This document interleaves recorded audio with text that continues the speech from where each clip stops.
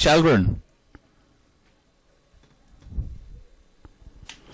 Off and racing we go, and five is off to a quick flash, and it's Inislosky Mano for Mary Crotty shows the early pace. Two goes up nicely as well, but is slightly gone a bit wide there, and that's Seans Salah back in second. Back to six, Gurtnacrehy Hero, who's around the bend back in third, and one making up ground, Carrigmore Dizzy, but is, has a lot to make up, but up front it is still Trap five here, Inislosky Mano on its second start for Mary Crotty, but two, Seans Salah getting there with every stride and checks up there. It's five, it's Inislosky Mano from two, Seans Salah, and two, Seans Salah, but five wins it. Inislosky Mano from Seans Salah back in second. The winning time 29.91. Five-year winner over two.